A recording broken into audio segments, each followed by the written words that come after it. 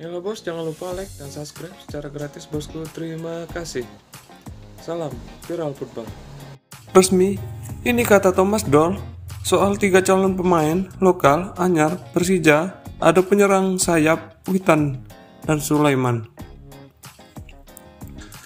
Persija Jakarta dikabarkan masih berburu pemain baru di bursa transfer Liga 1. Ada tiga pemain yang dicari untuk menggantikan yang pergi. Salah satu pemain yang masuk daftar adalah nama Witan Sulaiman. Presiden Persija Muhammad Perpanca masih menyampaikan rapat tiga nama yang akan direkrut.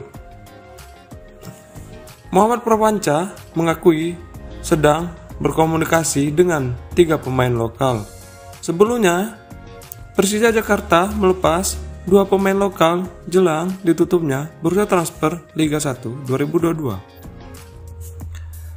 Kedua pemain yang dilepas Persija Jakarta adalah Rapi Mursalim dan Dwiki Arya.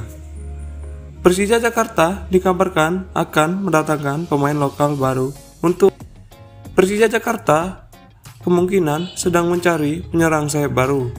Pasalnya, Persija Jakarta tidak punya sayap cepat beroperasi di sisi kiri selain sosok Osvaldo Hai. Sedangkan Osvaldo Hai harus menepi dari Persija Jakarta karena cedera yang dialaminya. Tanpa Osvaldo Hai, Persija Jakarta memilih untuk menggeser Frankie Misa di sayap kiri. Persija Jakarta harus memanfaatkan sisa waktu yang mendatangkan pemain baru sebelum bursa transfer ditutup. Nama Witan Sulaiman dikabarkan masuk ke dalam daftar pemain lokal karena saat ini sedang menganggur. Witan kini sudah tak memiliki kontrak lagi dengan klub Polandia, Lencia Gdańsk.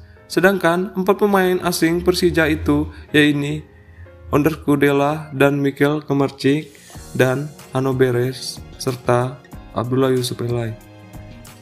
Dilansir dari Bola Sport, Pelatih Persija Jakarta, Thomas Doll, angkat bicara terkait hal tersebut.